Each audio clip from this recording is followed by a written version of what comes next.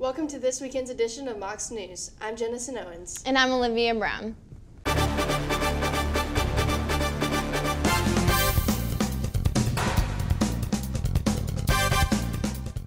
UTC is a big part of research taking place during the Chattanooga Marathon. Mocs News found out how it involves emotion and exercise. The brain activity of both a sport management professor and a grad student at UTC will be on display for the public as they run the Chattanooga Marathon Sunday, all with the help of a Bluetooth headband tracking brainwaves. The idea for this experiment came from Drew Bailey, Assistant Health and, Assistant Health and Human Performance Professor at UTC. Bailey said he is interested in the relation between physical activity and physical activity health, especially in an outdoor area such as Chattanooga. He said he is looking to explore the mental health of outdoor activity. This electroencephalogram, or EEG, is a portable brain scanner. There are multiple sensors located on the headband that read into the frequency of the electrical signals produced by brain activity. There are two sensors located in the front, two on the side, and one on the top. The EEG will create an in-depth depiction of what athletes are going through while running the marathon by trying to understand what mood states come from brainwaves. I think it's interesting to see what an athlete goes through throughout an event like this and trying to have the ideal emotions that they go through and like what they're at the toughest part, like mentally maybe calming yourself down, or if your performance is better when you are, like all those emotions are spiked. So you can imagine a runner would try to get into that meditative state while they're running so their body doesn't overreact to the stress that they're under. And then, of course, they would, that would have the effect of them enjoying the process probably more too because they're not agonizing the entire time. So for sure, it can help you with performance and to understand, you know, the mental state that you're in so you could continue to do the activities that are more positive. The sensors track the electrical charge produced when neurons in your brain begin firing and pushing ions across. The neurons can fire in waves, and whenever a wave comes by, it pushes ions to one side, creating the electrical charge. Neurons are fired in a regular pattern if a person is in a meditative state. Quicker, irregular neuron firing activity occurs when a person is thinking hard about something. It'll be interesting to look back and say, wow, you know what?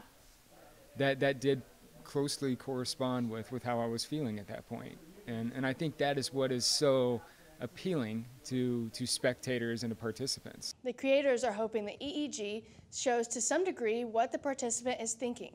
The headband doesn't read literal thoughts, but it measures in a more figur figurative sense, reading concentration and relaxation levels. Any, any time that uh, you, your performance outcomes are on display for everybody to see, I mean, it, there's always a sense of anxiety there. Uh, I have no idea how my body is going to react. I have no idea if I trained enough.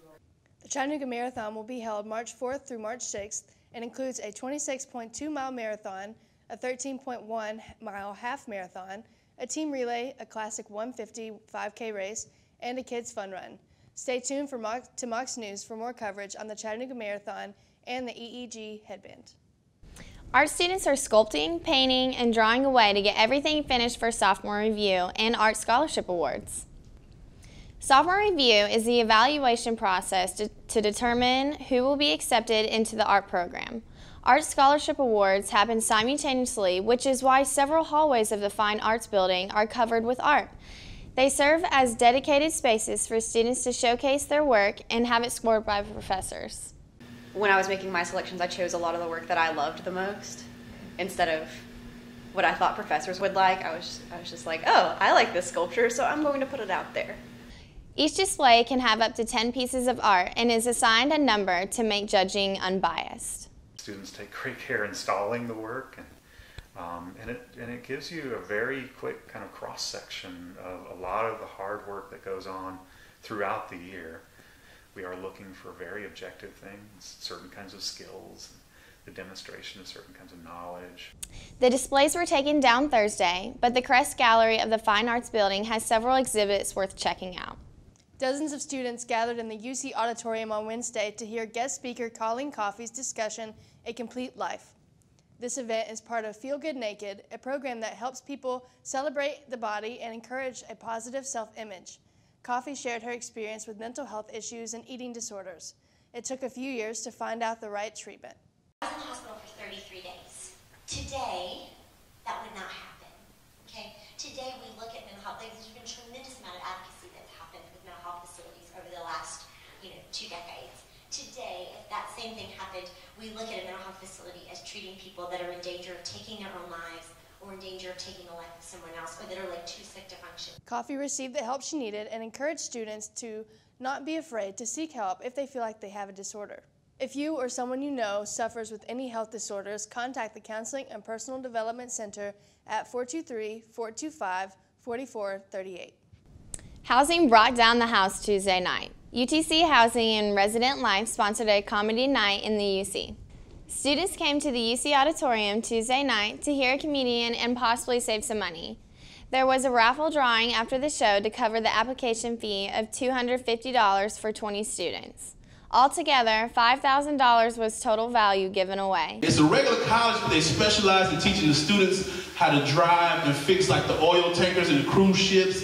It's like a three-year program. They come out making like 90 grand a year, guaranteed. Look at everybody transfer. The housing application deadline for current students for next school year was February 28th. Also on campus this week was Tennessee U.S. Senator Bob Corker. He is the first speaker in a business leadership series. Corker talked about his experience building up a construction business, starting with a pickup truck and $8,000. He also talked about the creation of the 21st Century Waterfront Project while he was Chattanooga mayor. Corker told students to find something different about themselves and pursue it with a passion while remembering to serve others. A reminder that next week is COM Week. You hear from experts from the field of communication with lectures in about a dozen classes. Make sure to take part in photo night and pizza with the pros. Also next week is grad fair at the bookstore. It's a good time to pick up your cap and gown if you are graduating. You learn about joining the Alumni Association and you can find out about buying a DVD about commencement. That does it for this week's edition of Mocs News. Thank you for joining us. Don't forget to subscribe and check out our videos uploaded throughout the week on YouTube.